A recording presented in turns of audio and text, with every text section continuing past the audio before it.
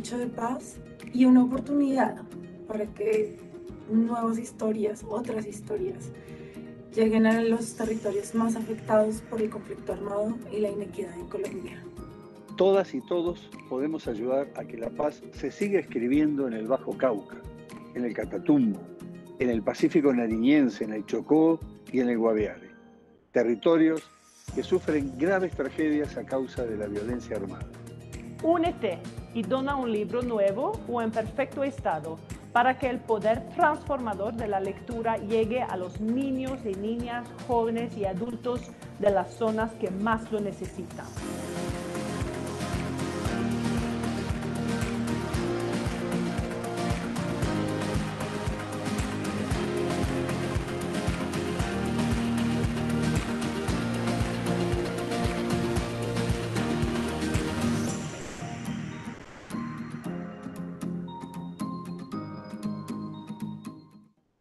Bienvenidos a la Feria Internacional del Libro de Bogotá. Imaginemos y vivamos juntos esta historia.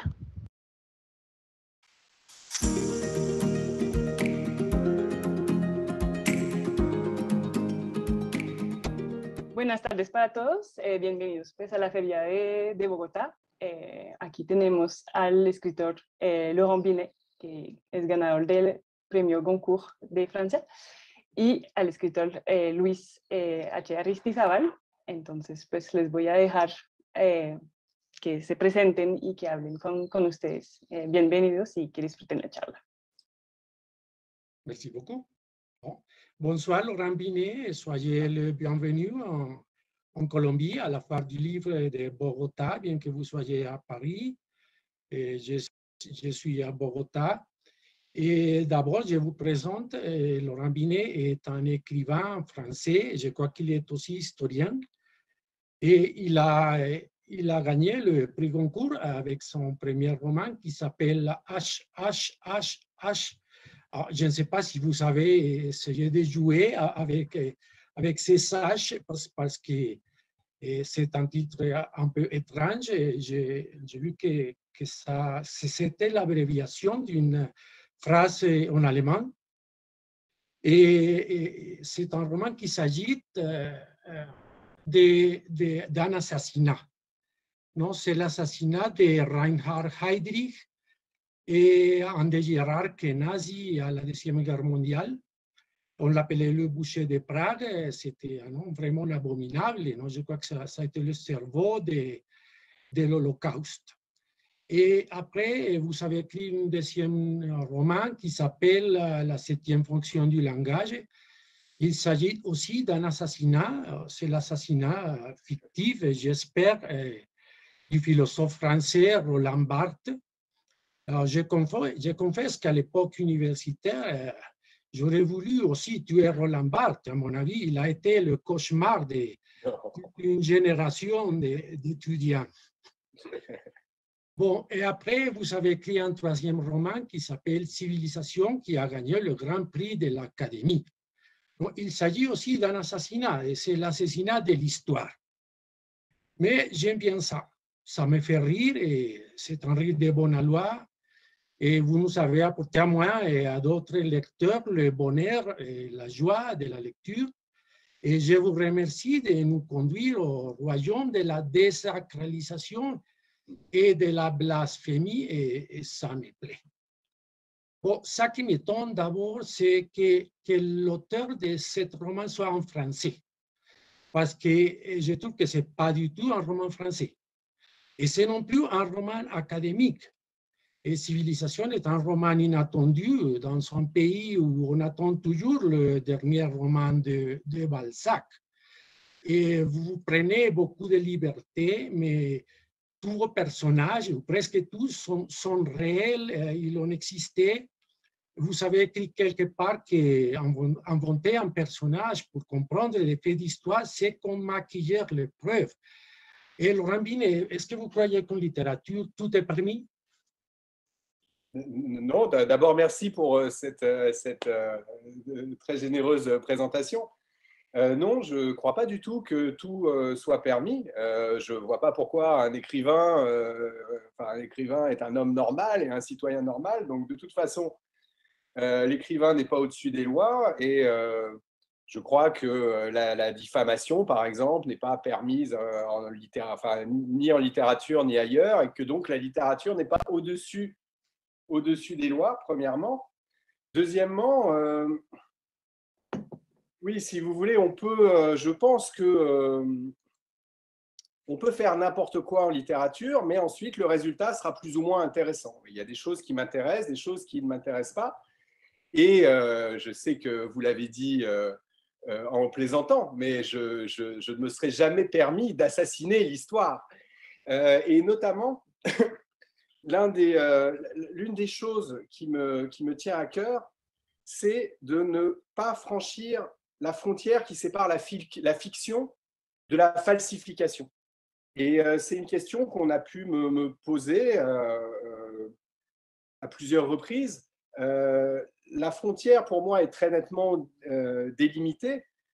La, différence entre fiction et falsification, c'est que la fiction ne se prétend pas autre chose que fiction. Et donc, dans le cas de civilisation, notamment, euh, mon histoire contrefactuelle, euh, ce que les, anglo-saxons appellent alternate history, euh, qu'on peut appeler aussi uchronie, ne se présente pas comme une concurrente de la véritable histoire. Et au, contraire, je pense que le lecteur de mon livre goûtera d'autant mieux mon livre qu'il comprend que c'est un miroir, un miroir inversé de la véritable histoire. Si vous lisez mon livre comme un simple roman d'aventure, je pense que vous perdrez quelque chose. Si vous lisez mon livre en ayant en tête que dans la réalité, les Espagnols ont envahi euh, et conquis euh, l'Amérique latine, alors le plaisir sera décuplé. Et donc, je pense qu'il y a quelque chose, il y a une notion qui, me semble très importante, c'est celle du pacte de lecture. Euh, je, le, mon pacte de lecture ici est que il ne s'agit pas d'histoire, il s'agit d'une uchronie, d'une d'une invention, d'une réinterprétation, euh, d'un renversement de l'histoire, et donc, euh, et, donc d'une fiction. Et donc, euh, voilà. Et je pense qu'il y, a certains livres qui, ont pu m'énerver, m'irriter, parce qu'ils jouaient sur une ambiguïté qui n'était pas claire et qui pouvait même, de mon point de vue, parfois être, être malsaine. Et donc, j'estime que, alors bon, enfin, on peut mais on peut critiquer mes romans à bien des égards, mais au niveau du pacte de lecture, j'essaie toujours d'être très clair. Et, euh, et, euh, donc voilà. Et donc dans, Civilisation, j'aime bien faire des clins d'œil au lecteur régulièrement pour rappeler au lecteur que ce qu'il lit est une fiction. Et alors le meilleur compliment qu'on m'ait fait sur Civilisation, c'est que c'est des lecteurs qui m'ont dit mais parfois j'avais oublié, je me disais, oh là là, mais c'est pas possible, Christophe Colomb, euh, qu'est-ce qui lui arrive? Et puis, mais, euh, mais à un moment ou à un autre, forcément, le lecteur, bon, c'est la, c'est la, c'est toute la question de la, suspension de l'incrédulité. Vous savez, le, le, la suspension of disbelief. Bon, voilà, c'est-à-dire j'aime bien jouer avec ça, mais jouer avec, avec le lecteur et non pas essayer de, essayer de lui mentir, tout simplement. Bon, euh, l'Uchronie, vous avez parlé de l'Uchronie. Je crois que vous avez parlé de l'Uchronie comme une bifurcation de l'histoire. C'est une possibilité, ça qui aurait, pu euh, être, de quelque façon. Il s'agit de, petits détails qui auraient changé le cours de l'histoire. Et ça, ça, la, ça répond, euh, ça veut dire répondre à la question que serait-il passé si ou en anglais le, What If de quelques célèbres comiques américains. Et bon, c'est une autre histoire. Et d'abord, vous avez, vous avez fait dans Civilisation, la première partie, c'est un, pastiche. Un pastiche, ça veut dire à la manière de, des de sagas islandaises. Non, ça c'est la Libye, la justification de l'histoire qui, qui va suivre. Et quels ont été les, ces petits détails qui, qui, qui pour vous, qui auront changé le destin des peuples américains et ont pu résister à l'invasion européenne? Oui, alors, euh, euh vous avez raison, oui, c'est-à-dire ce qui m'a intéressé, ce qui m'intéresse dans l'Uchronie, c'est que à certaines conditions, ça aurait pu être possible. Il y a, des, historiens français, justement, qui ont écrit un livre qui s'appelle Pour une histoire des possibles, où ils interrogent toutes ces questions d'histoire alternative. Et euh, le, récit que j'ai imaginé me semblait d'autant plus intéressant que euh, il me semblait, c'était ma conviction au début, et ça l'est encore plus maintenant, que, en effet, cette histoire alternative aurait pu être possible, possible à, quelques, à quelques détails près. Et donc, ces détails euh, sont euh, assez connus des, historiens. Moi, c'est c'est un, essayiste américain qui m'a qui la lecture d'un livre d'un essayiste américain qui s'appelle Jared Diamond qui m'a euh, donné la clé de ces détails, c'est-à-dire de ce qui avait manqué, au, euh, de ce qui avait permis la conquête d'un continent entier, de deux empires constitués de millions de personnes par une poignée d'Espagnols. Et ces, détails qui ont, qui ont fait pencher la balance d'un côté euh, étaient donc que les Espagnols avaient le cheval, avaient le fer et avaient à la fois les microbes et eux-mêmes les anticorps pour, pour y résister. Euh, puisque, euh, bon, bah, c'est, enfin, vous savez mieux que moi que 90% euh, des, des, Indiens américains ont été tués par la, maladie, en fait. Et donc, je me suis dit, bon, bah, imaginons que, donc, renversons, si on renverse l'histoire, si on imagine une colonisation inversée, donc il fallait combler ce, triple, ce triple handicap et donc, je me suis dit que, bah, tiens, pourquoi pas imaginer que les Vikings, puisqu'on sait que les Vikings ont découvert l'Amérique, ont découvert l'Amérique, disons, sont allés en Amérique, autour du Canada, bien avant Christophe Colomb, 500 ans avant Christophe Colomb. Imaginons qu'au lieu de faire cet aller-retour euh, vers l'an 1000, euh, où donc ils découvrent le Canada et puis ils l'oublient, ils reviennent et ils oublient, imaginons qu'une poignée de Vikings soit descendue vers le sud et se soit disséminée en Amérique latine et donc et répandu 500 ans avant et donné 500 ans avant l'arrivée de Christophe Colomb ces trois, ces trois armes qui étaient le, cheval, le fer et, euh, et, donc les microbes et les anticorps qu'ils aient donné la possibilité aux Indiens d'avoir 500 ans pour développer un système immunitaire suffisant pour que quand Christophe Colomb arrive, euh, bah, ce soit plus du tout la même histoire, puisque là, euh, il aurait eu en face de lui non plus des Indiens sans défense euh, à Haïti, à Cuba, mais des Indiens, des, Amérindiens bien armés, bien équipés et, bien résistants au niveau, au niveau microbien. Alors pour vous, ce n'est pas l'effet papillon, c'est l'effet cheval ou, bien l'effet microbie, non? Bon, et vous avez parlé de que vous avez essayé de répondre à la question de Jared Diamond, mais vous avez parlé aussi de, notre source immédiate, c'est une nouvelle de Carlos Fuentes. Oui, c'est vrai, oui. L'oranger, je crois, ouais, ouais, ouais. Oui, euh, euh, oui euh, Carlos Fuentes qui tourne autour de cette idée, qui, qui, qui, développe dans une, assez grosse nouvelle, mais enfin ça reste une nouvelle, mais oui, oui, c'est-à-dire, c'est une. J'ai l'impression que c'est un, c'est un fantasme qui, qui, qui, flottait un peu, qui, qui, flotte dans l'air depuis assez longtemps. Et oui, je ne suis, pas le premier à avoir eu cette, cette idée. Et la, et la nouvelle de Fuentes, elle est, elle est magnifique, elle est très intéressante parce qu'elle montre l'importance l'importance des, traducteurs, ce qu'on appelait les truchements. Et, euh, euh, c'est à ce moment-là, en lisant Fuentes, que moi j'ai découvert ce personnage absolument fascinant de l'histoire mexicaine, qui est la Malinche, qui a été, euh, que, moi je ne pouvais pas utiliser puisque j'avais choisi de, placer mon, renversement chez les Incas et non pas chez les, chez Aztèques. à l'époque de Pizarro, c'est-à-dire après, après Cortés et après la Malinche, mais ce personnage de la Malinche m'a tellement fasciné qu'il a inspiré tous les personnages féminins d'une manière ou d'une autre de mon, euh, roman, en fait. En tant que traductrice, en tant qu'ambivalente, c'est-à-dire ce, euh, euh, ce, vendant à l'ennemi d'une certaine manière, mais enfin, ce vendant, c'est pas qu'elle s'est vendue, c'est qu'on l'avait vendue en tant qu'esclave à, à Cortés, en fait. Et, et, donc voilà, donc bon, la, nouvelle de, la nouvelle de Fuentes m'a vraiment, m'a vraiment fasciné en fait. mais c'est, disons, dans, les, dans les, sources primaires qui ont présidé à l'écriture de mon livre, c'est une source parmi, parmi beaucoup d'autres, parmi euh, Garcilaso de la Vega, qui a écrit ses commentaires royaux sur le Pérou, parmi toutes les chroniques de conquistadors, et parmi, euh, voilà, parmi le, oui, bah, le, magnifique, euh, le magnifique récit de, Bernal Diaz del Castillo sur, le, sur le, Mexique, le compagnon de route de Cortés.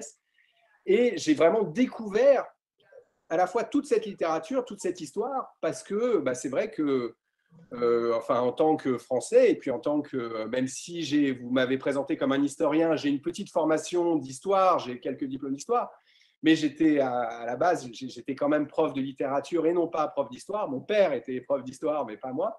Donc je suis un historien amateur, si vous voulez, et je ne connaissais pas grand-chose de, ces histoires de, conquistadors, euh, ni même, et encore moins, des cultures amérindiennes, des, Incas et puis des autres peuples amérindiens. Et j'ai découvert ça avec, euh, avec, euh, avec passion, en fait, et je me suis plongé dans, cette, euh, dans, dans, ces histoires-là, ces cultures-là. Et c'est bon, voilà, ça a été, un, ça a été un, pour moi ma très grande découverte à moi. C'était voilà, et, ça a été un, un immense plaisir, vraiment, vraiment une passion. Et on arrive à, l'histoire de Christophe Colomb, et c'est l'échec du voyage de Colomb qui s'est raconté à, travers un journal un peu fictif, un peu réel de, de, de Colomb. Et Colomb, il a inauguré une tradition parce qu'il a pris en otage le roi de Taïnos qui s'appelait Kaonabo, qui, en plus est, le, père de votre héroïne, de, ça veut dire un peu la Malinche, qu'elle s'appelle Igenamota, c'est la, la, fille du roi de Taïno. Et Kaonabo a, été le premier kidnappé, le premier enlevé en, Amérique. Non? Et, et, Colomb, eh, il, il a su jamais où il a été. Il est mort en la croyance de voir arriver en Asie et pas dans un nouveau monde. Est-ce que je crois que vous n'aimez pas beaucoup Christophe Colomb Non, c'est vrai. Euh, euh, oui, je, trouve que Christophe Colomb est un grand navigateur, un, immense marin, mais, euh, mais un très pauvre euh, ethnologue, un très pauvre humaniste. C'est-à-dire que enfin, le, monde qu'il a découvert sans tout à fait savoir qu'il avait découvert, les, hommes ne l'intéressaient pas. Ce qui l'intéressait, c'était ramener, ramener l'or en Espagne. Et donc, il n'était obsédé que par une chose, c'était l'or avec cette hypocrisie très, très, euh, très, très euh, européenne euh, de s'abriter derrière la religion pour justifier, pour justifier ses actes. Et donc, je vois Christophe Colomb comme un, bon catholique. Et dans ma bouche, ça n'est pas un compliment un bon catholique euh, relativement hypocrite, peu intéressé par les hommes, et ça m'a frappé. La, différence, c'est un philosophe franco-bulgare qui, en fait, qui, qui m'a fait comprendre ça, Svetan Todorov, qui m'a fait comprendre que quelqu'un comme Cortés, par exemple, était beaucoup plus intéressant que Christophe Colomb, parce que Cortés, même si c'était pour des mauvaises raisons, lui s'était intéressé aux, Mexicains, s'était intéressé aux différentes peuplades, à leur culture, à leur, euh, à leur politique. Et en fait, c'est vrai que j'ai bizarrement beaucoup plus de sympathie pour euh, quelqu'un comme Cortés que pour quelqu'un comme euh, Christophe Colomb, qui, était, voilà, qui, était, qui était très émerveillé par les paysages tout de même, mais absolument pas intéressé par les hommes.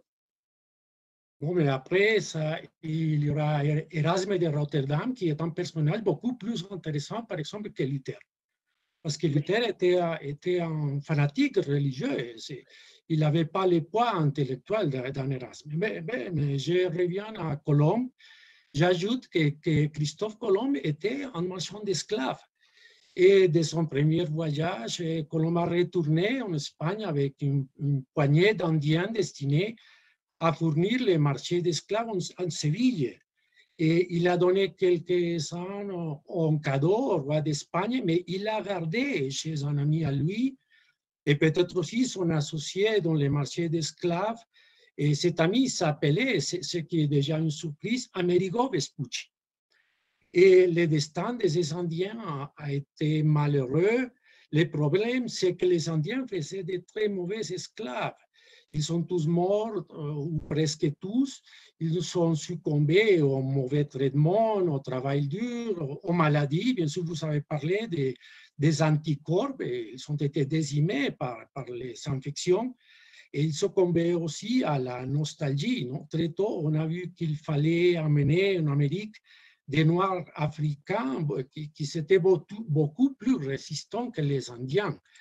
Et on a vu aussi très rapidement que les Indiens étaient bons pour les menus travail domestique, les nettoyages, les ménages, la cuisine. Et ça continue aujourd'hui, non? Même à Madrid ou à Paris, il y a pas mal de femmes de ménage qui viennent de l'Amérique latine. Absolument, c'est vrai, oui, vous avez tout à fait raison. Oui. Bon, on, arrive au noyau de l'histoire ou, de l'anti-histoire, comme on veut, je ne sais pas. Non. Vous, réclamez la, la, la, la, plausibilité de votre histoire, non? Et je me demande quel a été le rôle qui a joué la France dans cette histoire. Parce que d'abord, la France, vous le savez, a, raté la conquête de l'Amérique. Et on trouve bien à côté des noms espagnols et portugais, il y a quelques noms italiens, bien sûr, les premiers et principaux, Christophe Colomb, génois, Amerigo Vespucci en florentin. On trouve même des noms allemands, des noms allemands. Et notamment, il y a eu un Allemand de la ville de Ulm qui a raté être le fondateur de Bogota par quelques jours simplement parce qu'il n'est pas arrivé le premier. Et ça faisait toute la différence. On était trois conquistadors qui se sont trouvés au plateau de Bogota, euh, tous les trois par différents chemins, et tous les trois allaient à la recherche du Dorado. Mais il n'y a pas de nom euh, français. Vous, on peut se demander pourquoi, Cortés, pourquoi Pizarro, pourquoi pas Atahualpa, mais pourquoi pas en français? C'est une question euh, difficile. Hein. Je crois que à, un moment de l'histoire, les, euh, euh, les, Français étaient très occupés à, se battre contre l'Angleterre, contre bon l'Allemagne depuis toujours, hein, mais euh, les, Français à ce moment-là n'ont pas eu, euh, l'instinct commercial, puisque euh, ce qui est quand même intéressant, c'est que tout ce qui a initié cette conquête, c'est quand même une démarche commerciale. Il fallait trouver la route des Indes pour aller acheter des épices. Ça aussi, c'est quelque chose de, de, fou quand on y pense. C'est-à-dire toute l'histoire du monde a été durablement bouleversée parce que des, des, des, des gens voulaient aller acheter des épices, des épices en Inde. Ça, c'est totalement fascinant. Et bon, bah, il se trouve que euh, probablement, vous avez raison de parler des Italiens. Les marins italiens sont ceux qui sont, euh, qui, qui, sont allés démarcher les grandes puissances européennes, la France, l'Espagne. Et c'est l'Espagne qui a fini par dire, euh, le Portugal, et c'est l'Espagne qui a fini par dire oui à, Christophe Colomb, qui avait eu, bon, comme vous savez, beaucoup de mal à faire financer son, voyage. Et d'ailleurs, euh, les, rois catholiques avaient d'abord, euh, enfin, ont mis beaucoup de temps à accepter ce, projet. Mais donc voilà, ça me semble très intéressant aussi. C'est euh, ces hasards de l'histoire qui fait que la, démarche, la première démarche n'était pas une démarche de conquête, puisqu'ils ignoraient l'existence de, l'Amérique, mais une, une, démarche, une démarche commerciale. Et donc, encore une fois, euh, on constate que comme 80-90% euh, de, enfin je ne sais pas, hein, j'invente le pourcentage, mais enfin comme euh, une très grande part des, grands, des grands faits historiques, le, c'est le hasard, c'est le hasard qui a joué, qui a joué le rôle le plus prépondérant. bon, ça, ça aussi, c'est quelque chose qui me, qui me, fascine, le rôle des, le rôle des hasards dans, dans l'histoire. Bon, arrivons à, au noyau de, votre roman, c'est l'année 1531, et la France venait d'être battue et humiliée humilié par les Espagnols à la bataille de Pavie. Et j'ai vu qu'en même temps, ah, le, roi, le roi de, France, François Ier, a été pris en otage, il est emmené à Madrid. Et en même temps, Cortés était au Mexique et il avait en otage le roi de Mexique et quatre jours après la bataille, la bataille de Pavie, il a assassiné le roi de Mexique. Bon, j'imagine euh, que vous avez hésité, vous l'avez dit, euh, vous avez hésité entre les Péruviens et les Mexicains comme des protagonistes principaux des civilisations, ou au moins de, la première invasion. Parce que quand même, ça, ça, a dû être difficile parce que l'Empire mexicain est un empire, un empire atlantique et l'Empire péruvien est un empire au Pacifique. Ça aurait été un long voyage. Alors, je me demande pourquoi vous avez choisi euh, les Péruviens. Oui, euh, c'est vrai, vous avez tout à fait raison. Techniquement, c'était plus simple pour le Mexique d'aller, euh, qui voit, enfin, qui est tout près de Cuba et d'Haïti, ça aurait été beaucoup plus simple pour le Mexique que pour, euh, que pour les Incas. Euh, ce, qui a, donc, ce qui a déterminé mon choix, c'est une fois encore le hasard. C'est vrai que j'ai découvert toutes ces histoires quand j'ai été invité au Salon du Livre de Lima. Et c'est vrai que si à ce moment-là, ça avait été à Mexico, peut-être que j'aurais choisi le Mexique. Euh, mais il y, a une autre raison qui n'est pas de, l'ordre du hasard, qui est de l'ordre vraiment de, euh, la littérature et du, euh, roman, en fait, du, romanesque, c'est que euh, l'histoire de la prise en otage de. En fait, Pizarro aussi a pris en otage l'empereur le, Inca, Atahualpa, mais l'histoire de la capture de, de Atahualpa par Pizarro m'a semblé tellement romanesque que je, je, ne pouvais pas, je ne voulais pas, je ne voulais pas la rater. C'est-à-dire, en, d'autres termes, je voulais utiliser cette scène qui, pour moi, est une scène de western absolument fabuleuse quand Pizarro, avec ses 200 hommes, ses 180 Espagnols, attend l'armée d'Atahualpa qui arrive avec des dizaines de milliers de, soldats et tend un piège dans cette petite ville qui s'appelle Caramarca, tend un guet-apens à Atahualpa euh, et donc attend, euh, attend Atahualpa qui arrive avec toute sa suite, sa, tous ces, ces, milliers d'hommes et toute sa pompe. Euh, et Pizarro qui a embusqué ces, hommes et qui, vient se, se, présenter avec son prêtre et le prêtre tend un, une Bible à Atahualpa et, il lui dit voilà écoute la parole de Dieu et Atahualpa dit j'entends rien et jette, la Bible et c'est le signal pour Pizarro tous les Espagnols se jettent sur, le, sur, les, euh, euh, sur les Incas qui sont complètement désorientés et euh, Pizarro comprend très vite que sa seule chance, c'est de capturer vivant Atahualpa pour que l'équilibre des chances à, 200 contre des milliers et des milliers soit ce, que la, balance s'équilibre. Et, et, cette scène-là, vraiment, je la voyais comme une scène de western et j'avais envie de la réécrire, j'avais envie de la transposer en Europe, j'avais envie de cette scène où euh, Atahualpa allait capturer euh, Charles Quint, allait tendre, euh, voilà, faire la scène exactement en miroir. Et j'avais d'ailleurs mis beaucoup de, beaucoup de, temps à choisir le, lieu, de, le lieu de la scène. J'ai beaucoup visité l'Espagne à ce moment-là.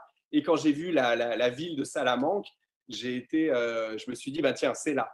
Et en fait, là encore, c'était basé sur une erreur, puisque je me suis dit, cette place-là, elle est formidable, la place centrale de Salamanque.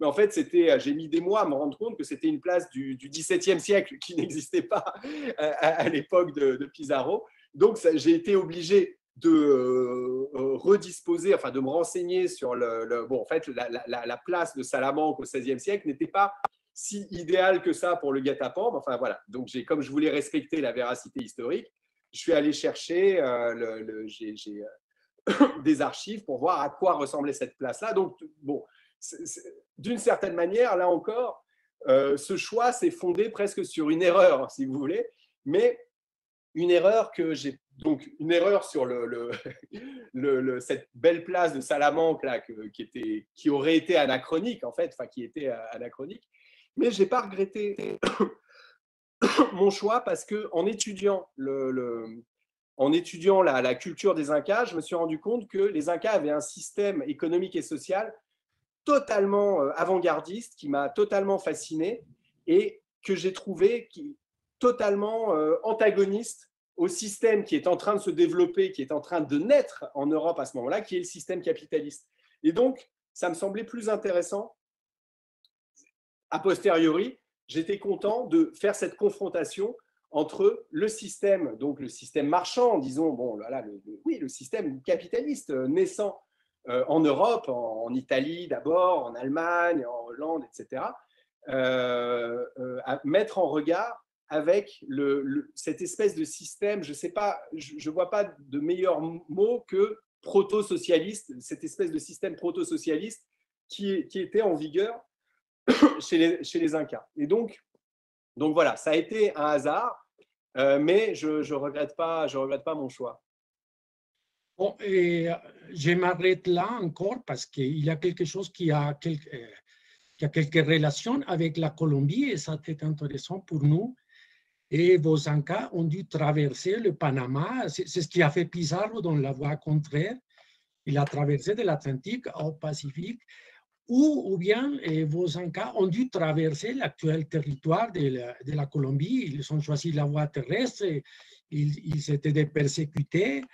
Et il a un personnage mystérieux qui vous parlez, c'est un marchand de Popayan qui est à la fois un interprète et qui évidemment, évidemment avait des rapports avec les Incas, aussi qu'avec les Taïnos. C'est lui qui a fait le contact, c'est lui qui a fait le lien entre ces deux peuples. Et euh, je crois que ça a été bien possible, parce que je reviens à l'histoire des trois conquistadors de Bogota, se sont trouvés à Bogota. L'un d'eux, qui s'appelait Belalcazar, et, et, il était un des hommes de Pizarro, et c'est une histoire qui, qui m'étonne, parce qu'il a trouvé à Quito un Indien qui avait habité auparavant à Bogota. Et cet Indien a dit aux Espagnols qu'il pourrait aller trouver le trésor du Dorado dans un lac euh, très près de Bogota. Bogota, à l'époque, s'appelait Bacata, qui était déjà le, nom indien de la, ville. Mais ça démontre qu'il avait bien un commerce et une connaissance entre les peuples de l'Amérique centrale et de l'Amérique du Sud. quelle est l'origine de ce personnage de Popayan C'est vraiment très. J'ai lu quelque part, en effet, que donc les Incas étaient en train de s'étendre au nord, au sud. Euh, les Incas avaient, en gros, euh, Atahualpa vient de, vient de, Quito, euh, et donc les Incas étaient déjà en Équateur et, et, se, rapprocher, se rapprocher de la Colombie. Mais j'avais lu quelque part, en effet, qu'il y avait des... il y avait quelques marchands qui étaient en fait qui étaient allés plus loin que les Incas eux-mêmes et que donc on, on, ne savait pas exactement jusqu'où ils étaient allés et donc je, connais, je, me souviens même pas, enfin je crois pas avoir lu un nom précis, mais enfin j'ai eu cette information que quelques marchands colombiens faisaient un petit peu, enfin, avaient, euh, comment dire, avaient informé, en fait, disons, avaient, euh, avaient renseigné les Incas. Et en fait, c'est vrai que ça ouvrait des perspectives. les, les, frontières n'étaient pas poreuses, en fait. Il n'y avait aucune raison pour que des individus isolés n'aient pas poursuivi plus au nord, plus au sud. Euh, et, et, d'après ce que je sais, d'après les, re, les recherches récentes, on sait, enfin, on sait que les Incas connaissaient l'existence même des Aztèques et inversement. Donc, ils avaient, apparemment, ils n'avaient pas des échanges très, très développés, mais enfin, ils, connaissaient euh, leur existence mutuelle et ils ne la connaissaient que parce que il y a eu des, euh, il y a eu, même si c'était des échanges embryonnaires, il y a eu au moins quelques poignées d'hommes qui ont fait, le, bah, qui ont fait ce parcours-là, quoi. C'est-à-dire le parcours de Panama ou alors par la, par la mer, mais enfin. en tout cas, tout n'était pas, tout n'était pas euh, étanche et, euh, et, voilà, voilà c'était, il y avait quelque chose de poreux et il y avait, il y avait des, des, espèces de, ben en fait, de, de, Christophe Colomb euh, amérindien d'une certaine manière, enfin des explorateurs, quoi, des explorateurs euh, qui euh, se trouvaient être des, marchands. Et en effet, ben, le, trait d'union, le, trait d'union entre les Incas et, Cuba, disons, pour simplifier, c'était logique que ce soit quelque part du côté de la, du côté de la Colombie, puisque bon, c'est de la géographie tout simplement. Quoi. C'est très intéressant, mais pour nous historiens, c'est une part de l'histoire très mal connue. Bon, et arrivons en, en Europe, Atahualpa arrive en Europe après un tremblement de terre de Lisbonne. Et moi aussi, j'ai vu que la critique française, surtout, a, vu ça comme un hommage à Voltaire, parce que Voltaire a parlé d'un célèbre tremblement de terre, le désastre de Lisbonne au XVIIIe siècle. Et il, a, fait un poème et il a mentionné au Candide, quelque chose comme ça. Bon, mais, j'ai vu que ce tremblement de terre a été réel. Oui, ça c'est incroyable. En effet, tout le monde, bon, moi-même en tant que Français, j'avais le, j'avais le tremblement de terre de Lisbonne, le désastre de Lisbonne euh, raconté par Voltaire en tête. Mais j'aurais pas utilisé euh, ce qu'aurait été, je trouve, une coïncidence romanesque un peu trop forcée si je n'avais pas découvert que le jour même où euh, Pizarro a posé le pied au Pérou, ce jour-là, il y a eu un énorme tremblement de terre euh, à Lisbonne en 1531, donc si je ne dis pas de bêtises, dont on pense, donc qui est moins connu que celui du 18e, mais dont on pense qu'il a peut-être été encore plus énorme et encore plus dévastateur que celui euh, que, celui que raconte Voltaire. Alors ça, c'est vrai que c'est ça qui était, c'est ça qui est amusant avec, euh, enfin qui m'a beaucoup amusé moi avec l'Uchronie, c'est que euh, certains journalistes m'ont dit mais alors c'est génial cette liberté que vous octroyez, mais en fait je voulais que mon Uchronie colle le plus possible à, l'histoire réelle et donc utilise au maximum des faits réels. Et donc, quand j'ai vu que ce tremblement de terre avait eu lieu, je me suis dit que forcément, puisque je voulais faire exactement la conquête en miroir, le jour où Pizarro a posé le pied au Pérou, c'était dans, dans ma tête, c'était le jour où euh, Atahualpa allait atterrir en Espagne ou au Portugal. Et je voulais que ce soit le Portugal pour faire la symétrie avec Christophe Colomb, puisque le premier voyage de Christophe Colomb, quand il revient il revient euh, d'abord, il arrive au, Portugal. Euh, et donc là, je me suis dit que c'était une coïncidence absolument fabuleuse parce que historique. C'était, ce tremblement de terre est un fait historique. Et donc là, j'étais très content de pouvoir utiliser ce fait historique. Et donc tout ça pour vous dire que j'ai essayé de faire preuve de beaucoup, beaucoup de, rigueur, si vous voulez, dans, mon, dans, mon, dans ma construction en miroir. je, je, je, voulais, je voulais avoir la meilleure connaissance possible de la situation de l'Europe à l'époque et de ce qui se passait en Europe pour pouvoir utiliser euh, ces faits historiques dans, mon, euh, dans, dans ma, ce que vous avez appelé ma, bifurcation, euh, à juste, à juste titre. Ah, bon, je, suis allé par curiosité à Wikipédia aussi, je cherchais ce tremblement de terre et c'est quelque chose d'incroyable parce qu'on parle de et que été un tsunami au golfe de Cadix. C'est une chose, c'est triste qu'il n'y a pas un chroniste qui, qui racontait ça. Et on parle aussi euh, d'une chose très curieuse, que c'est qu'au Portugal, on a, on a inculpé les conversos, les conversos, ça veut dire les juifs ou d'autres qui sont convertis au christianisme, et on a inculpé les, les, les conversos parce qu'on a dit que le tremblement de, terre, c'est à cause d'un pacte de, avec le diable. Et, à cause de ça, le roi de Portugal a entré pour parler avec le pape pour établir l'Inquisition au Portugal.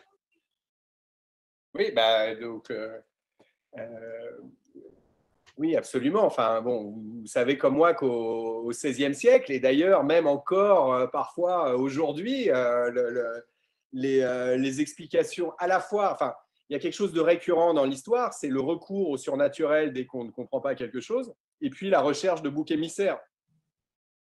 et donc, et, c'est vrai aussi que là encore, c'était quelque chose que je connaissais très vaguement, mais plutôt mal, l'histoire de l'Inquisition, et puis euh, cette résurgence de l'Inquisition, la renaissance de l'Inquisition en Espagne à cette époque-là. Et euh, je, trouvais ça, je trouve ça totalement fascinant de, voir à quel point ce moment-là de, l'histoire en Espagne euh, a, influencé, à mon avis, a été le germe de tout ce qui s'est enfin, de, tout ce qui s'est passé en Europe jusqu'à la Deuxième Guerre mondiale, parce que euh, cette histoire de juifs convertis euh, qui, dont se méfiaient les Espagnols, les Espagnols, en gros, reprochaient aux juifs qui s'étaient convertis d'être des faux convertis.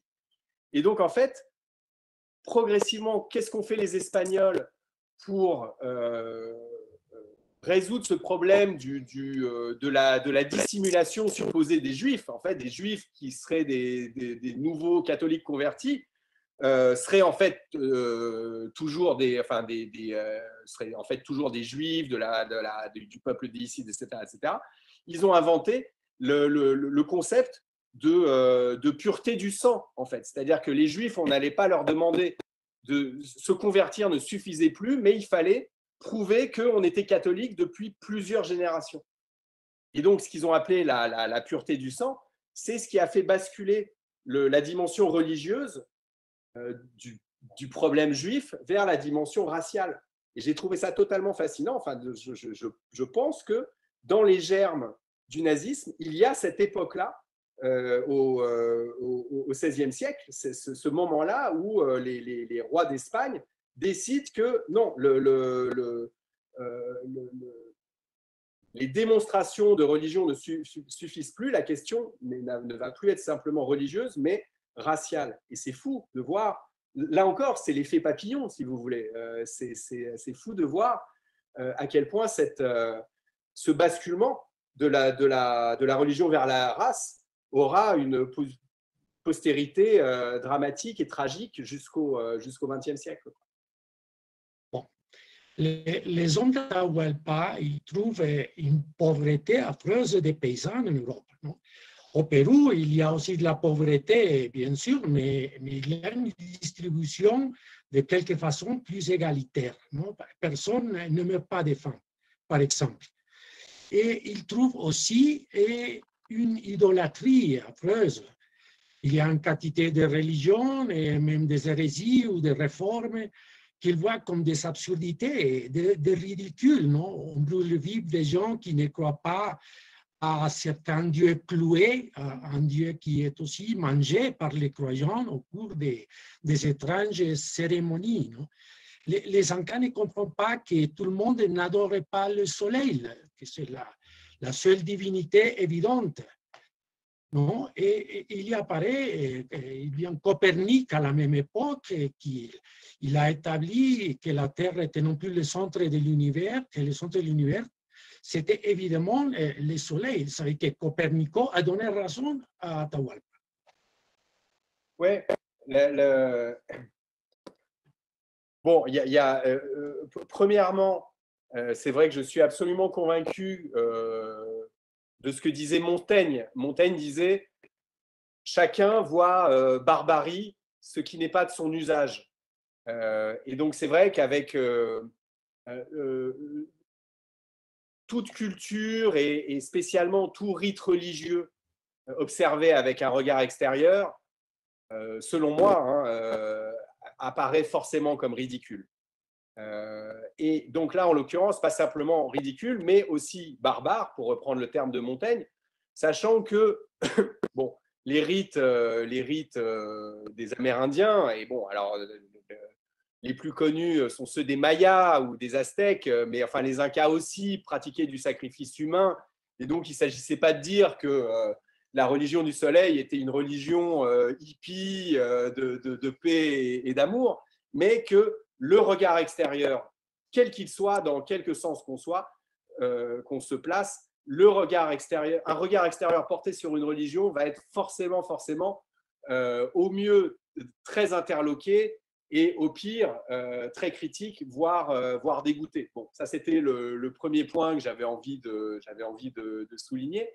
Euh, d'autre part, oui, cette histoire de, Copernic, ça, je trouvais ça absolument génial parce que je trouvais que c'était une opportunité, encore une fois un hasard, mais une opportunité formidable pour Atahualpa euh, de profiter de cet avantage psychologique qu'au moment où l'Europe entière commence à se dire, mais en fait, le centre, du soleil, le centre de l'univers, c'est le Soleil, pour Atahualpa qui arrive en tant que fils du Soleil, c'était une chance formidable pour comment dire, bénéficier de cet avantage psychologique. Et je trouvais ça très, très,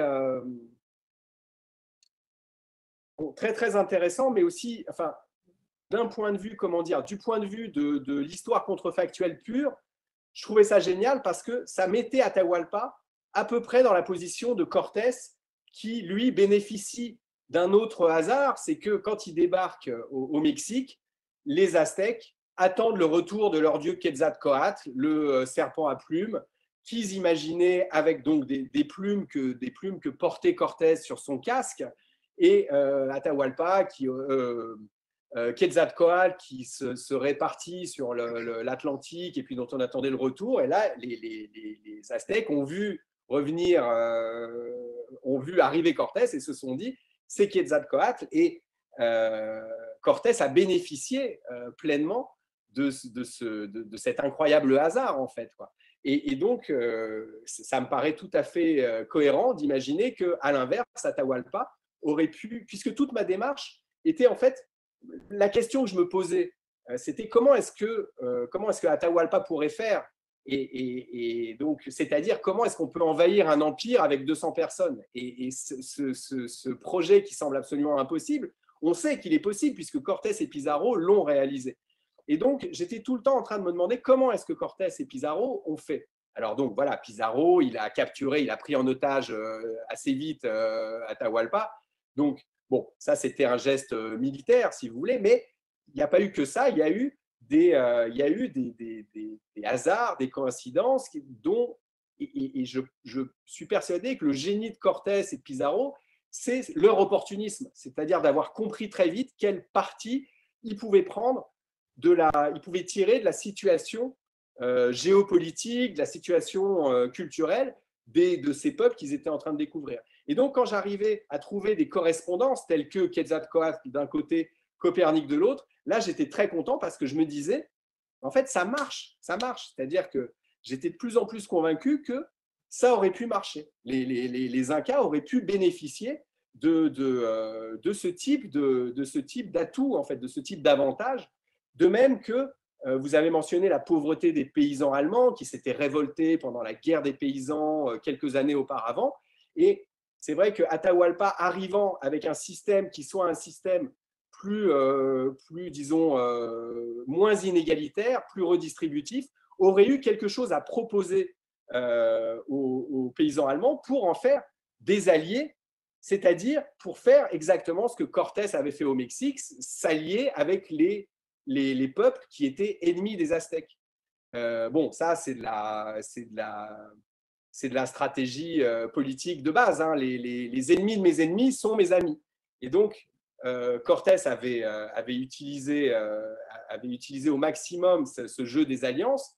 Et là encore, je, me, demande, je, me suis posé la question est-ce que Atahualpa aurait pu faire pareil? C'est-à-dire, est-ce que le, Charles Quint avait des ennemis à l'intérieur ou à l'extérieur de l'Empire avec qui Atahualpa aurait pu s'allier et, et la réponse est oui, plein. Les populations opprimées telles que les juifs conversos, dont vous avez parlé tout à l'heure, et également les moresques, ces musulmans qui étaient peu ou prou dans la même situation que, les juifs, à l'intérieur de l'Espagne, à l'intérieur de l'Empire, les paysans allemands qui ne demandaient qu'à se révolter de nouveau, qui étaient exploités, et puis à l'extérieur, les, alliances avec les, bah, en gros, le pays euh, en guerre avec l'Espagne à l'époque, c'est la France. Vous parlez de Michel de Montaigne et j'arrive parce que je dis que Civilisation n'est pas du tout un roman français, mais je, dois dire aussi qu'elle appartient quand même à une autre tradition bien française, et c'est la tradition de se regarder à travers le regard de l'autre. C'est une tradition de la tolérance, de la bonne humeur, elle existe encore, mais, c'est rare dans la littérature française. C'est aussi une tradition de la dérision par comparaison des cultures. Ce que vous faites, c'est l'exposition nue des faits qui, mène les gens à, penser, à réfléchir. C'est la tradition du conte philosophique et, et, je dois mentionner Michel de Montaigne parce que je crois qu'il a été le premier humaniste en France qui a parlé de, ça et surtout dans les chapitres de Cannibal au CC, Et euh, je profite pour dire que les essais de Montaigne, ce ne sont pas une œuvre française, ce sont une œuvre de l'humanité que tout le monde devrait lire. Non? Vous savez, vous savez fait la, rencontre entre Michel de Montaigne et Cervantes à l'épilogue de, de, votre roman, mais ça m'a servi aussi pour, que les, pour dire que les essais de Montaigne sont sont pour moi une œuvre de la même qualité du Quichotte de, Cervantes. Non? Mais il est beaucoup moins lu, du moins dans notre culture, Montaigne est pratiquement méconnu. Non? on ne connaît pas. Et, mais il a fait ça et, après, après, il y a cette tradition que je vois qui a été reprise par euh, Montesquieu au XVIIIe siècle avec les cartes persanes et notamment par Voltaire, non parce que Voltaire est dans le Candide et aussi Micromégas, mais surtout dans l'ingénu. Je n'ai pas vu dans la, critique de votre livre qu'on mentionne l'ingénu. Et l'ingénu, c'est un Indien américain qui, qui vient en Europe euh, dans le, dans le 18e siècle et, il, pratique euh, ça, le regard à, à travers la prétendue ingénuité d'une personne qui ne pense pas comme vous, non? Oui, oui, bon, Vous êtes un, un, héritier de Voltaire? Je suis un Héritier de Voltaire? Non, ben, je ne sais pas. C'est-à-dire, enfin, disons, en tant que Français, je l'ai beaucoup étudié à l'école, donc ça fait partie de ma formation euh, culturelle depuis, euh, depuis très jeune. Euh, donc, euh, j'imagine que euh, même si vous avez raison que Voltaire n'est plus tellement à la mode en France, j'imagine quand même qu'il y a une petite part de, Voltaire chez, tous les Français, qu'ils le sachent ou non, qu'ils en aient conscience ou non. Mais oui, c'est sûr que, enfin, mon roman se passait au XVIe siècle, donc il est très, il fait beaucoup de références à Montaigne, mais j'avais évidemment en tête à la fois Montesquieu, à la fois Voltaire, Diderot également. Et donc, euh, oui, c'est-à-dire, euh, euh, en, tant que Français, j'ai été quand même, j'ai été élevé dans, la philosophie des Lumières. Et bon, aujourd'hui, enfin, les Aujourd'hui, idéologiquement, tout ce qui se passe en France et dans le monde est très compliqué, mais disons qu'en France, il y, a, un mouvement très fort de contestation de Voltaire, de l'universalisme qui serait euh, une forme euh, dissimulée, hypocrite du colonialisme. Et c'est d'ailleurs des critiques qui sont intéressantes, euh, mais pour autant, je ne crois pas que ça invalide la pensée et l'héritage de Voltaire. Et donc, oui, moi, je me sens quand même je ne veux pas dire que je suis un héritier de Voltaire, ce serait un peu prétentieux, mais enfin, je m'inscris dans cette, cette tradition, dans cet héritage. Ouais, ouais. Mais je crois que Voltaire aurait ri à mourir avec votre roman, en plus, il connaissait déjà les faits que vous avez racontés et je crois qu'il aurait envoyé une copie au roi des Prusse qui aurait ri aussi à, gorge déployée. Bon, et il y a le jeu de référence, j'ai vu la critique, on a trouvé dans votre roman une infinité de clins d'œil aux, lecteurs avisés. Et on a parlé de Luciada, de, du portugais Camões, et on a parlé aussi, pour moi c'était inattendu, le, Salambo de Flaubert. On a parlé du Lazarillo de Tormes, on a parlé du Lorenzaccio de Alfred de Musset. Et il y a la, vous savez détourné la, phrase de Madame Roland, hein, ça dit, en, fin de compte, Soleil, quel crime n'aura-t-on pas commis en ton nom? Ah, c'est très drôle, non? C'est l'esprit ludique que vous savez. Et vous jouez même avec les dates, non? J'ai soupçonne, et ça, c'est ma, ma, prochaine question, j'ai soupçonne que vous avez ajourné l'arrivée des Mexicains en, en, Europe pour vous donner le petit plaisir de voir un débarquement en Normandie en juin 44 c'est gratuit, mais c'est très drôle, non? C'est quand même un débarquement des Américains qui sont des alliés des Anglais. Alors, j'ai ri comme un fou, parce que c'est très intéressant. Et, et, il y a des petits détails comme que les Mexicains construisent une pyramide à la cour du Louvre. Ça, c'est le comble de la blasphémie, non? Et, ce sont les Mexicains qui viennent une, une décennie après les, les Péruviens, ils viennent ravager la France, non? Bien sûr. Bon, c'est pour ça que vous avez ajourné l'arrivée des Mexicains? Oui, bah, c'est-à-dire euh, à partir du moment où euh, à partir du moment où je voulais les faire débarquer en France et à partir du moment où ce sont des Américains, euh, je me disais que tant qu'à faire, vu le développement de mon de mon récit, 44 était, ça collait à peu près, c'est-à-dire c'était pas, c'était assez logique que voilà, après une fois que l'empire inca s'est développé, bon, la Tahualpa arrive en 31 une douzaine d'années plus tard, que je voulais que les, les, Aztèques débarquent pour compliquer la situation. Bon, voilà. C'était logique que les Aztèques débarquent en France.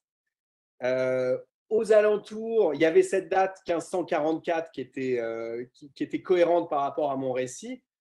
Donc, tant qu'à faire, je me suis dit, bon, ben voilà, puisqu'on peut les faire débarquer autour de 44 en France, autant que ce soit en Normandie, et autant que ce soit le 6 juin 44, la date, bon, là, c'est vrai que pour chaque Français, le 6 juin 44, évidemment que c'est une référence que à l'étranger, on connaît peut-être moins. Enfin bon, là, vous, vous avez l'air de, chère Louise, d'avoir une culture absolument immense. Mais en tout cas, bon, oui, c'était un clin d'œil pour les, pour les Français. Les Américains qui débarquent en Normandie le 6 juin 44, sauf que ce n'est pas 1944, c'est 1544.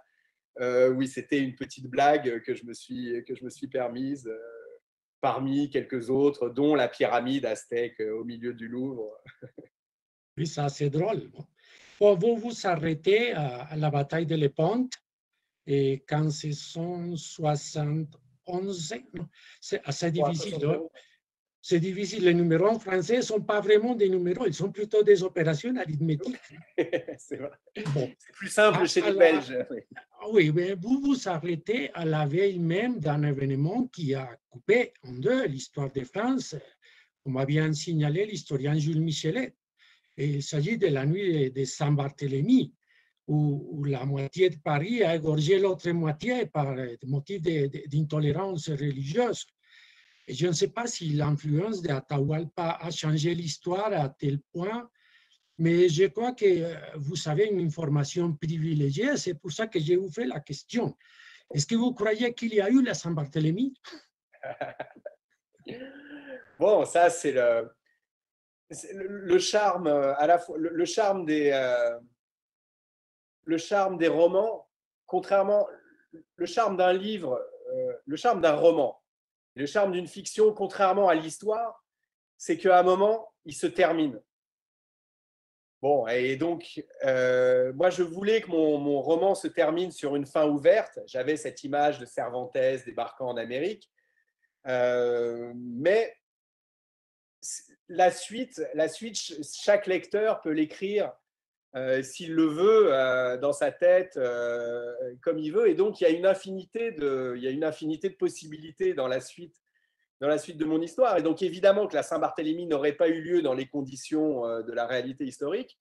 Mais j'ai fait aussi cet épilogue euh, de, 25 ans après la mort d'Atahualpa dans mon, dans, mon livre pour montrer que l'histoire, justement, ne s'arrête jamais. Et que c'est pas parce que Atahualpa a réussi à conquérir son empire que tout est réglé, et qu'il a atteint ce qui était d'ailleurs le rêve de, Charles Quint, c'est la monarchie universelle et la paix universelle.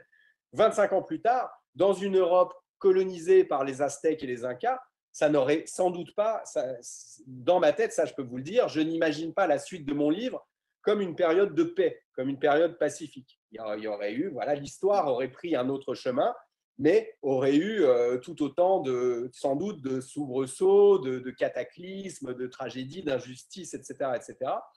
Et je voulais surtout pas euh, faire cette opposition manichéenne entre les gentils Indiens et les méchants Européens. et, c'est ça qui était intéressant, je trouve, dans mon épilogue, c'est que dans mon épilogue, on, refaisait un espèce de double renversement, c'est-à-dire que là, c'est à nouveau le regard d'un Européen sur son, sur son, continent colonisé par euh, des, des, Incas et des Aztèques, c'est-à-dire que là, dans, dans, mon, dans mon histoire, les colonisateurs, les conquistadors, les envahisseurs sont les Incas et les Aztèques. Et donc, ça, disons, d'un point de vue moral, c'est compliqué parce que quand j'ai fait cette, confrontation entre, Montaigne et, le peintre, le Gréco, qui incarne, donc qui, est qui, est, donc le, qui est incarne, disons, un défenseur de la foi catholique, pour aller vite.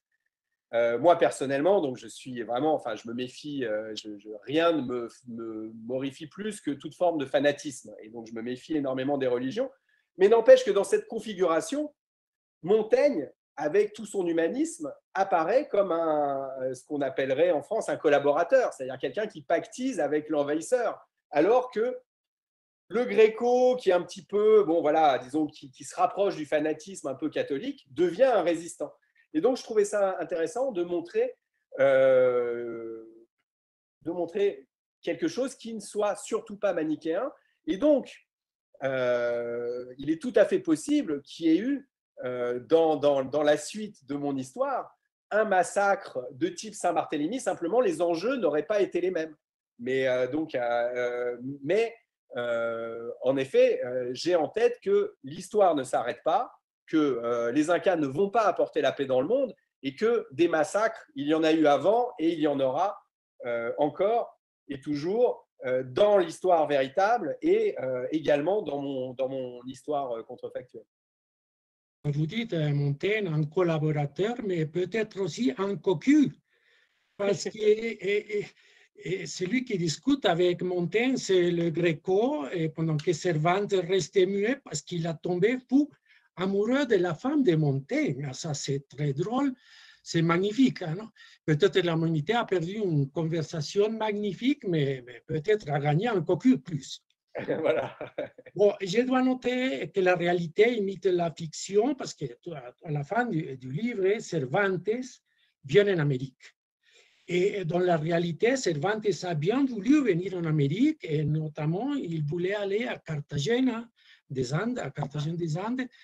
Il a demandé au Conseil des Andes une place à l'administration coloniale. Il avait des connaissances de comptabilité. Il a voulu venir à la Nouvelle-Grenade. La Nouvelle-Grenade, c'est l'actuelle Colombie, comme la Nouvelle-Espagne, c'est l'actuel Mexique. Et il voulait être le comptable des galères à Cartagena des Andes. Et je ne sais pas s'il aurait écrit le Quichotte, je ne sais pas si vous savez s'il aurait écrit le Quichotte, mais je crois que ça aurait, été un Quichotte réchauffé un peu. Je ne sais pas, disons que c'est vrai que j'avais eu vent de cette histoire, je savais que Cervantes avait eu la possibilité, avait postulé pour aller en Amérique, et c'est vrai que cette, simple idée me fait rêver, et c'est vrai que j'aurais adoré lire les aventures de Don Quichotte euh, en Amérique, et c'est... Euh, et c'est pour ça que je termine mon livre euh, de cette façon. Oui, bon, finalement, Laurent Binet, et je voudrais vous recommander un livre et au public aussi. Je ne sais pas si vous les connaissez, mais je trouve que l'artifice littéraire le plus proche à votre roman, c'est un roman écrit par un Colombien. Et c'est un grand ami à moi qui s'appelle Juan Esteban Constaín. Il a publié chez votre même éditeur en espagnol un roman qui s'appelle Calcio, et calcio est un mot italien qui signifie le foot. Et, il s'agit à la même époque et dans le même contexte, d'une façon très civilisée, le roi Charles Quint a décidé de mettre fin à la guerre avec ses nombreux ennemis euh, dans un match de foot qui sera joué à la place de la Sainte Croce et la, Sainte Croix à Florence. Ah, génial! Ah oui, c'est très, très curieux parce que dans l'équipe espagnole militent déjà des footballeurs américains. Euh, les fichages de la saison, quand ce sont 30-31, sont des petits indiens très habiles qui se faufilent entre les maladroits défenseurs européens. Et ce sont des, des, petites Messi, des petites Neymar avant la lettre, non? Et ça, cela rappelle, m'a rappelé le jeu de pelote de, de vos Groenlandais chez les Mexicains. Bon, je ne vous dis pas qu'il va gagner le match parce qu'il faut absolument que vous lisez ce livre délicieux, amusant et aussi blasphème et désacralisateur que civilisation. Alors, euh, l'air totalement génial. Je ne crois pas qu'il ait été traduit en français encore, mais je vais le recommander à mon, à mon éditeur français. Oui, je, je sais qu'il est en, italien, mais je ne sais pas si, si, on le trouve en français, mais il faut faire la traduction si on ne l'a pas fait. Bon, Laurent Binet, je vous remercie. Ah, C'était très amusant la, la, conversation avec vous. Vous avez été très gentil et j'espère que nous nous verrons prochainement et, et, que vous viendrez personnellement à la, à la prochaine foire du livre de Bogota. Merci beaucoup. Merci à vous. Merci beaucoup, Louis. Merci.